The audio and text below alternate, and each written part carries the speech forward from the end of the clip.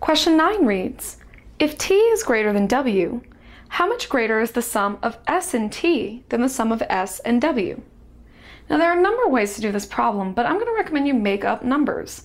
Remember, we make up numbers anytime we have an algebraic problem that we want to turn into an arithmetic problem.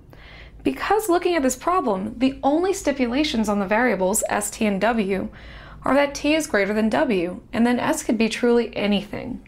So, because there are lots of options for what the variables could be, we'll make up numbers. Okay, so let's make up numbers. All we know is that t has to be greater than w. So I'll say t is equal to 7 and w is equal to 5. Okay, now we need a number for s. And we can pick anything in the world for s, but I will pick 4. Okay, now that we've made up our numbers, let's just solve the problem. How much greater is the sum of s and t? Well, what is the sum of s and t? It's 11 so I'm actually going to totally replace that with 11. Then the sum of S and W. Well, what is the sum of S and W? It's 9. So I'll replace this with 9. And now the question reads, how much greater is 11 than 9? Well, that's an easy problem to answer. It's just 11 minus 9, or 2. So we know the correct answer to the question is 2. Of course, none of the answer choices say 2, they all have S's, T's, and W's in them.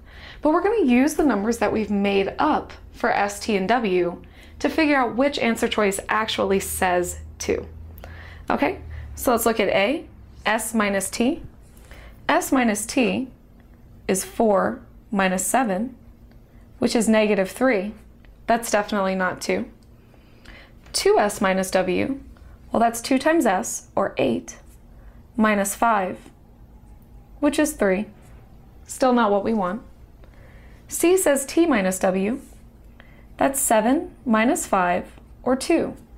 We've found what we want, but when we make up numbers, we should check all the answer choices just to be safe. There's always a possibility that we've, you know, manage to make up a set of numbers that will, you know, mess up our results. So let's just make sure that they're all correct.